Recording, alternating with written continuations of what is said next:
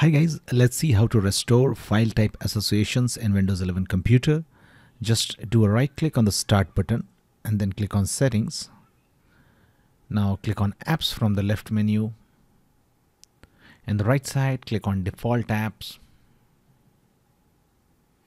Now scroll down and locate locate reset all default apps. Just click on it, reset and click on OK. And that's it. You have just reset all default file type associations in Windows 11 computer. Please do a like to our video and subscribe to the channel for supporting us. Thanks for watching the Geek page.